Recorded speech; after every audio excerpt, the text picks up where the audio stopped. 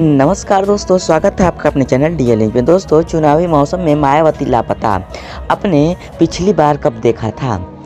चार साल यूपी के मुख्यमंत्री रही मायावती इस चुनाव को लेकर ढूंढ रहे हैं। चुनाव के चंद दिनों में मायावती पूरी तरह से खामोश हैं। जबकि सपा प्रमुख अखिलेश यादव विजय यात्रा रथ निकाल रहे हैं। कांग्रेस महासचिव प्रियंका गांधी महिलाओं के बीच जनाधार मज़बूत कर रही हैं। प्रचार के लिए भाजपा ने कई हाईकमान के यूपी पर उतार दी है। सिर्फ़ बसपा प्रमुख चुनाव के सक्रिय हैं।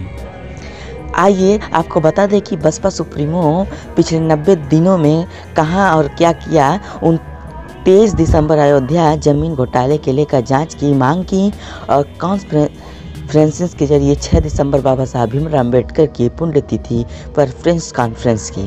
30 नवंबर पार्टी कार्यालय में चुनाव के पदाधिकारियों के साथ बैठक की। इसी के साथ 26 नवंबर बसपा के भी संविधान दिवस पर कार्यक्रम बहिष्कार किया। 24 नवंबर पार्टी के पिछले कार्यकर्ताओं विकास कार्यों को फोल्डर जारी किया। 23 नवंबर चुनावी बैठक के कार्यकर्ताओं को लेकर जुटने का संदेश दिया। वहीं पर कृषि कानून को वापस लेने के प्रेस कॉन्फ्रेंस के ज़रिए 9 नवंबर बीजेपी के चुनाव वादे पर घेराबंदी करने का बैठक की। काशीराम पुण्यतिथि पर प्रेस कॉन्फ्रेंस के ज़रिए जनसभा की मायावती के चुनावी साइलेंस के ज़रिए अमित शाह की चुटकी ली। गुरुवार ने मुरादाबाद के शाह ने कहा कि बहन जी तो अभी ठंड ही नहीं गई।